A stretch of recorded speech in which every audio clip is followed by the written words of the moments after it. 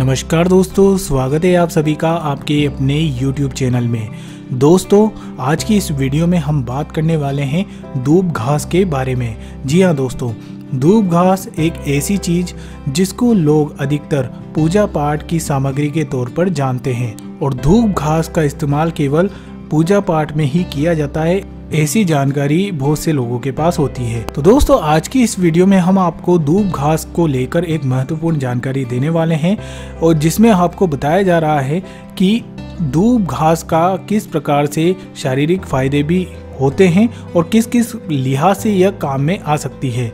दोस्तों, अधिकांश लोगों को धूप घास के केवल आध्यात्मिक लाभ पता होते हैं।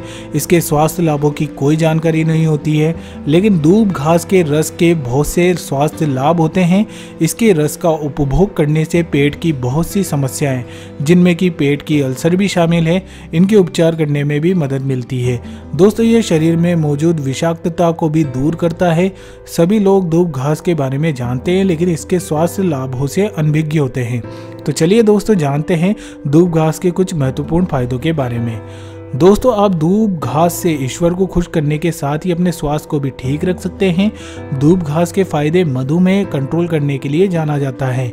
हाल ही के कुछ अध्ययनों से पता चला है कि धूप घास में हाइपोग्लाइसेमिक प्रभाव होता है। इस प्रभाव के कारण यह रक्त शर्करा यानी कि यह शुगर लेवल को कंट्रोल करने में मददगार साबित होता है। इसके अलावा मधुमेह के लक्षणों से जुड़ी अन्य समस्याओं को दूर करने के लिए भी धूप घास का उपयोग किया जा सकता है। नीम के पत्ते के रस के साथ धूप घास के रस का उपभोग करने पर यह शरीर में रक्त शर्करा के स्तर को सामान्य करने में मददगार होता है। इसके अलावा दोस्तों, यह मोटापे को दूर करने में भी फ़ायदेमंद होती है। जी हाँ आप मोटापे को दूर करने के लिए धूप घास का उपयोग कर सकते हैं। यह आपके वज़न को कंट्रोल करने में मदद कर सकती है। यह वज़न कम करने वाली एक प्राकृतिक औषधि है, जो प्रभावी रूप से वज़न को कंट्रोल कर सकती है। आप अपने वज़न को कम करने के लिए नियमित रूप से धूप घास का उपभोग कर सकते हैं।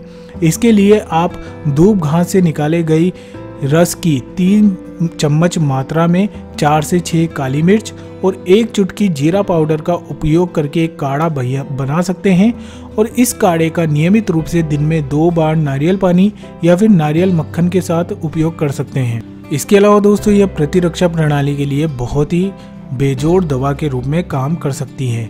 आपके शरीर को स्वस्थ रखने के लिए धूप घास का इस्तेमाल किया जा सकता है। इसमें ऐसे पोषक तत्व और एंटीऑक्सीडेंट मौजूद होते हैं, जो आपकी प्रतिरक्षा तंत्र को बढ़ावा देने में मदद कर सकते हैं।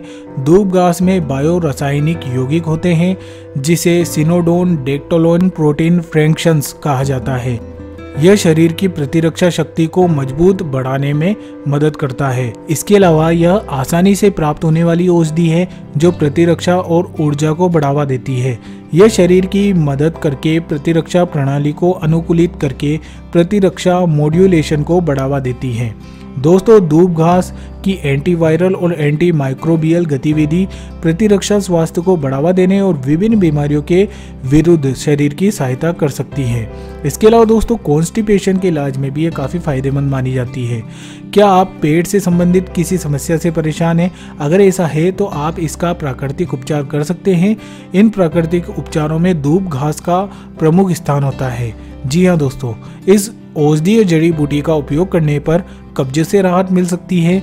पानी के साथ धूप, घास का रस पीने से शरीर में मौजूद विषाक्त पदार्थों को बाहर निकालने में काफ़ी ज़्यादा हेल्प मिलती है, जिससे यह एसिडिटी की समस्या को कम करने के साथ ही मल त्याग को आसान बनाता है।